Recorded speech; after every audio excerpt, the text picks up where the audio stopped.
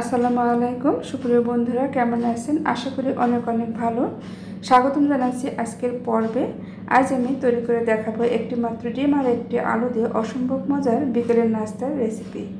তো বন্ধুরা, কথা না বাড়িয়ে চলে যাব মূল রেসিপিতে। একটি লাইক দিয়ে ভিডিওটি দেখার অনুরোধ করছি। তো এখানে আমি একটি মিক্সিং বল নিয়েছি। প্রথমে দিয়ে দিলাম এক কাপ ময়দা।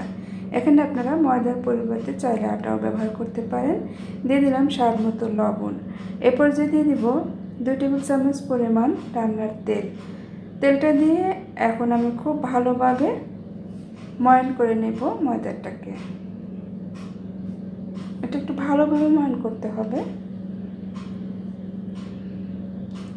তো এটা ময়ন করা হয়ে গিয়েছে। এখন আমি নর্মাল পানি দিয়ে একটি সফট ডো তৈরি করে নিব। তো পানিটা আমি একবারে দেব না। কয়েকবারে দিয়ে ডোটা তৈরি করে নিব।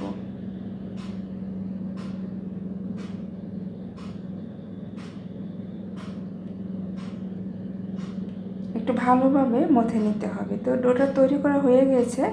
এখন ঢাকনা দিয়ে ঢেকে আমি দশ মিনিটের জন্য রেস্টে রেখে দিব।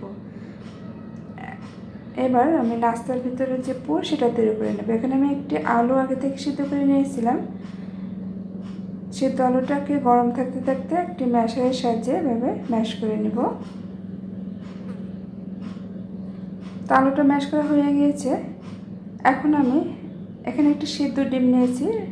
এই ডিমটাকে একটা গ্রেটারের সাহায্যে গ্রেট করে নেব। গ্রেটারের যে ছোটো অংশ, সেটা দিয়ে আমি ডিমটাকে গ্রেট করে নেব। সেটা গ্রেট করা হয়ে গিয়েছে। এর ভিতরে দিয়ে দিলাম সামান্য পরিমাণ লবণ, হাফ চা চামচ চাট মশলা আর দিয়ে দিলাম পেঁয়াজ কুচি, কাঁচামরিচ কুচি। এখন আমি হাত দিয়ে খুব ভালোভাবে ম্যাশ করে নেব।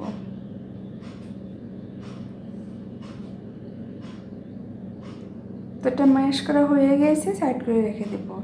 এখন আমি একটি ব্যাটার তৈরি করে নেব। দিয়ে দিলাম ওয়ান থার্ড কাপ ময়দা সামান্য পরিমাণ লবণ আর এক চা চামচ চিলি ফ্লেক্স। আর দিয়ে দিলাম এক চা চামচ কালো জিরা।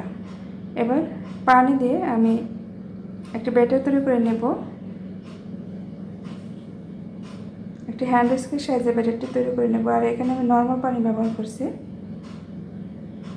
তো ব্যাটারটা খুব বেশি পাতলা হবে না, আবার অনেক বেশি ঘন হবে না।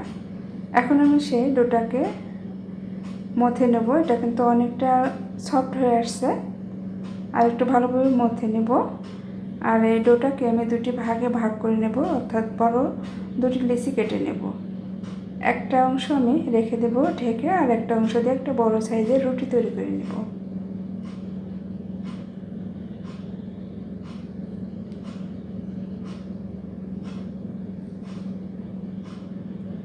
তো রুটিটা তৈরি করা হয়েছে, এটা এরকম হবে। আমরা সাধারণত যে রুটি খাই সেই রকমই একটা পাতলা রুটি হবে।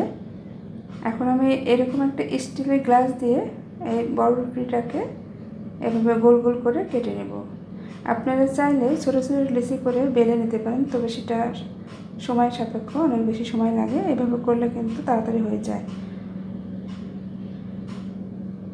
তো পাশের যে অংশ, সেটা আমি রেখে দেবো আর পরবর্তী পর্যায়ে এটা দিয়ে নাস্তা তৈরি করে নেব।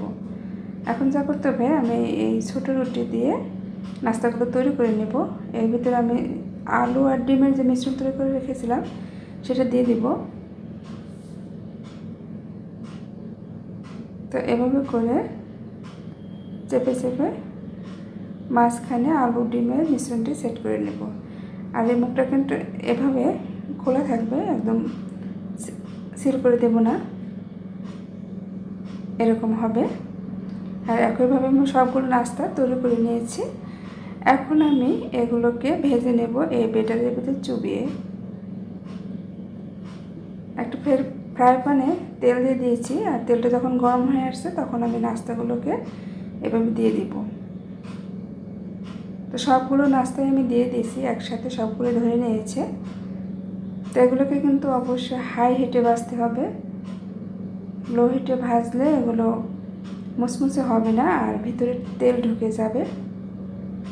এই নাস্তাগুলো খেতে খেতে কিন্তু ভীষণই মজার হয়, একদম মসমস করে, আর ভিতরে পুরে ভরা থাকে, আর উপরটা একদম ক্রিস্পি হয়। এগুলো ভাজতে চার থেকে পাঁচ মিনিটের মতো সময় লাগবে। তো এরকম যখন কালার হয়ে আসছে, এখন আমি এগুলোকে তুলে নেব তেল ছড়ে।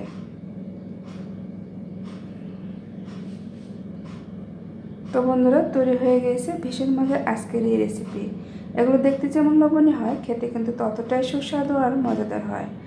সকাল বিকালে চায়ের সাথে খেতে ভীষণই মজার হয়, আবার চাইলে আপনারা সসের সাথেও এটি পরিবেশন করতে পারেন। তো বন্ধুরা, আমার ভিডিও কেমন লাগল? কমেন্ট করে জানাবেন। ভালো লাগলে আমার চ্যানেলটিকে সাবস্ক্রাইব করে অনুরোধ করছি। আর যারা আমার পেজ থেকে দেখছেন, আমার পেজটি ফলো করার অনুরোধ রইল।